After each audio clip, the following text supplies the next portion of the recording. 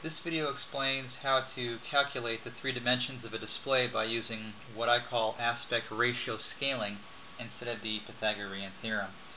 Um, uh, aspect ratio defines the dimension of a screen by using the width and height dimensions to create ratios. More about this later. In the audiovisual industry, one very common task is to calculate the dimensions of a flat panel display or a projection screen before you go out and buy it. The typical formula that is used is the Pythagorean theorem, or a squared plus b squared equals c squared. So we're all very familiar with this formula.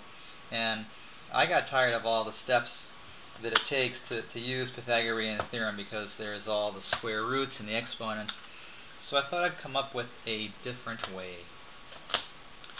Uh, that different way involved creating these uh, three models that have all three dimensions on them. Those three dimensions are height, width, and the diagonal. And I can use these as templates for figuring out all the dimensions of any size display that uses these aspect ratios. So I don't need to use the Pythagorean theorem at all. Uh, just a little description here on these real quick. This is a 4 by 3 aspect ratio on this one. So this is the data for 4 by 3. This is 16 units wide and 9 units high. Uh, that's that's this one. And the aspect ratio here is 16 by 10, and all these are width by height. So th these are the, are the three templates here that I've made. So uh, let's do a practice problem here. Let's assume that I know the width of my potential screen is 48 units wide and my aspect ratio is 4 by 3. So I use a 4 by 3 model and I divide the number of units of my desired image by this template value here of 4. 48 divided by 4 is 12. So what that means is my desired size is 12 times larger than the template.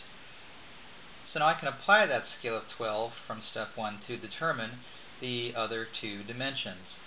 So in effect, I'm just scaling the model up to the desired size. So as you can see here in these results, um, the diagonal is 5 here times 12, it's like a scaling factor, 5 times 12 equals 60, so that's the length of my desired, uh, that's the diagonal of my desired image now. 3 here times the factor of 12 gives me 36, so now I know the height. So now I know the height, the width, and the diagonal of this image and didn't need to use the Pythagorean theorem at all. Uh, let's try another example here with 16 by 9. So let's say my diagonal dimension now is 105 units long. So it's this diagonal dimension right here.